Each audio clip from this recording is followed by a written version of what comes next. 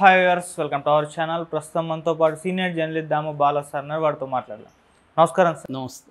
Sir Jaganmohan Reddy గారికి మరో shock ఆ, తగిలేలా కనిపిస్తుంది సార్ తొమ్మిది మంది రాజ్యసభ సభ్యులు పార్టీ మారబోతున్నారు జంప్ కాబోతున్నారు అని వార్తలు అయితే వినిపిస్తున్నాయి సార్ మరి ఎవరి ఆ, తొమ్మిది మంది మరి దీన్ని జగన్మోహన్ రెడ్డి గారు ఏ విధంగా హ్యాండిల్ చేస్తారు? వాళ్ళు ఏ పార్టీలోకి చేరబోతున్నారు సార్ యా నిన్నటి నుంచి ఒక వార్త వైరల్ అవుతుంది. అదేంటంటే రాజ్యసభ సభ్యులు దాదాపు పదకొండు మంది ఉంటే పదకొండు మంది కూడా ఖాళీ అయిపోయే పరిస్థితి కనిపిస్తుంది. ఒకే ఒక్క ఎస్వి సుబ్బారెడ్డి తప్ప మిగతా పది మంది కూడా జంప్ అవుతారు అంటున్నారు ఈ సంఖ్య తొమ్ కొంతమంది తొమ్మిది అని కొంతమంది ఏడు మంది అని చెప్తున్నారు. ఇప్పుడైతే మన దగ్గర ఏడు మంది పేర్లు అయితే వచ్చాయి.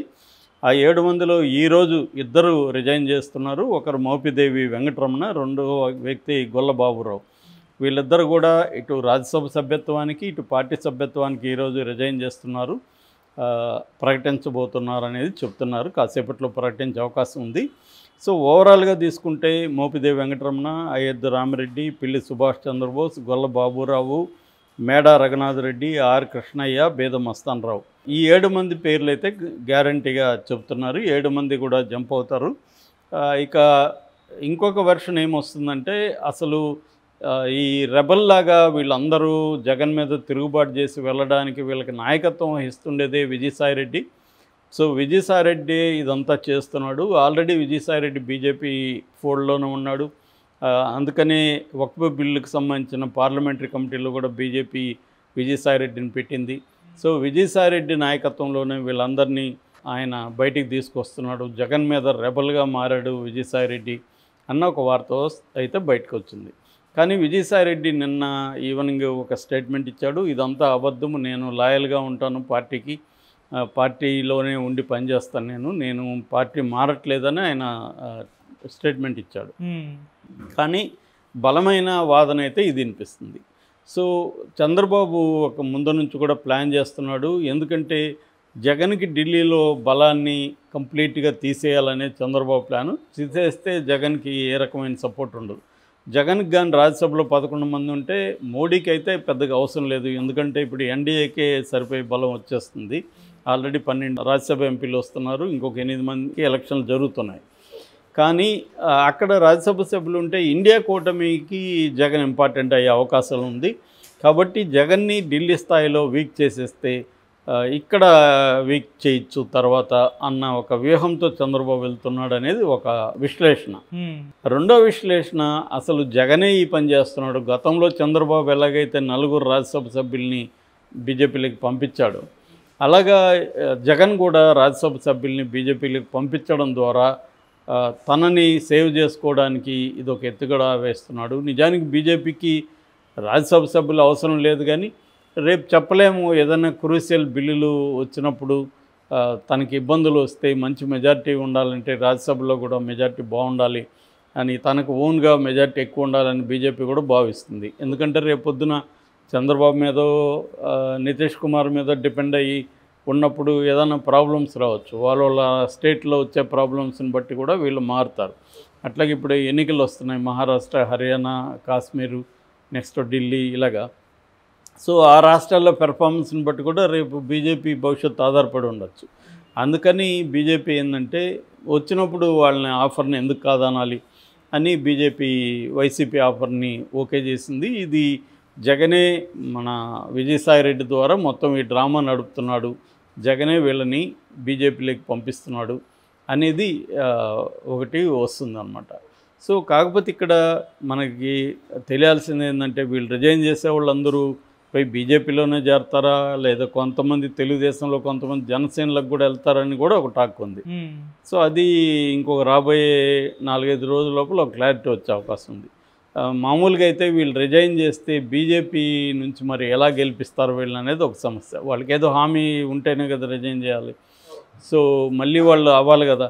ఒకటి ఏంటంటే కూటమిలో ఉంటే తెలుగుదేశం కూటమికి ఎంతమందినైనా గెలిపించే స్థాయి ఉంది. ఎందుకంటే నూట అరవై నాలుగు మంది ఎమ్మెల్యేలు ఉన్నారు కాబట్టి ఇప్పుడు ఎంతమంది రాజీ చేసినా మళ్ళీ వీళ్ళు గెలిపించుకోగలుగుతారు. సో అందువల్ల బీజేపీలో చేరితే కూటమి తరపు నుంచే వీళ్ళని గెలిపించాల్సి ఉంటుంది. సో కూటమిలోకి పంపిస్తున్నట్టుగానే ఇది మనం అనుకోవాలి. అంటే బీజేపీతో మాట్లాడుకొని జగన్ చేశాడా? లేదు చంద్రబాబు చాణక్యంతో ఇది జరిగిందా? అనేది క్లారిటీ అయితే ఇంకా రావట్లేదు. ఇది మోస్ట్లీ ఇంకొంతకాలం గడిస్తే కానీ అంటే జగన్ని బి మోడీ ఎలా ట్రీట్ చేయబోతున్నాడు ఇతను కేసులు టైట్ చేస్తాడా అనేది చూడాలి. రెండోది ఏంటంటే ఇంకొక వెర్షను విజయసాయిరెడ్డి రెబల్గా మారడానికి ఒక కారణం ఏంటంటే ఇప్పుడు ఈ సిబిఐ ఈడీ కేసుల్లో విజయసాయిరెడ్డి అక్యూజన్ నెంబర్ టూగా ఉన్నాడు. సో ఈ అక్యూజన్ నెంబర్ ఏ టూగా ఉన్నప్పుడు ఆయన తనని కానీ మీరు ఈ కేసులను సేవ్ చేస్తే నేను మీకు ఈ రాజ్యసభ సభ్యులను తీసుకొస్తానని బీజేపీతో ఒక డీల్ కుదిరింది అన్న వాదన కూడా వినిపిస్తుంది. సో అంటే ఒక సుబ్బారెడ్డి తప్ప ఇతను క- జగన్ కంట్రోల్ ఇంకెవరు ఉండే అవకాశం లేదని అంటున్నారు. సో ఇది మరి ఎంతవరకు ఏది వాస్తవం అనే దానికి కొంతకాలం మనకి టైం పడుతుంది. అట్లాగే వీళ్ళైతే తెలుగుదేశం కూటమి అయితే దీన్ని సెలబ్రేట్ చేసుకున్నట్టే జగన్ పని అయిపోయింది ఇంక అనేది మాట్లాడుతున్నారు. వైసీపీలో కూడా భిన్న స్వరాలు వినిపిస్తున్నాయి. జగనే ఇది స- చేసుకున్నాడు. గతంలో ఐదేళ్ళు అధికారంలో ఉన్నప్పుడు పార్టీని కానీ ఎంపీలని కానీ ఎమ్మెల్యేలను కానీ అతను ఎప్పుడు పట్టించుకోలేదు. నేను బటన్ నొక్కి ప్రజలకు ఇస్తే ప్రజలు నన్ను మళ్ళీ గెలిపిస్తారన్న సింప్లిస్టిక్ అవగాహనతో జగన్ ఉన్నాడు అనేది వాళ్ళు అనుకుంటున్నారు. సో మరి ఇది ఏది నిజము అనేది మనం చూడాలి. ఏదేమైనా కొంత టైం అయితే పడుతుంది. ఏదేమైనా జగన్ అయితే బలహీన పడుతున్నట్టుగా కనబడుతుంది. ఒకవేళ అక్కడికి పంపించేసి తనను కేసుల నుంచి రక్షించుకోవచ్చేమో కానీ ఇతనై పంపించుంటే ఆ మేరకు జగన్ కనీసం స్టేట్లో అంటే ఢిల్లీ స్థాయిలో రేపొద్దున వాళ్ళ ద్వారా బీజేపీతో కాంటాక్ట్స్ కంటిన్యూ చేసే అవకాశం అయితే ఉంటుంది. సో జగనే కానీ వాళ్ళని పంపించుంటే కొంతవరకు జగన్ సేఫ్గా ఉన్నట్టుగా మనకు అర్థమవుతుంది.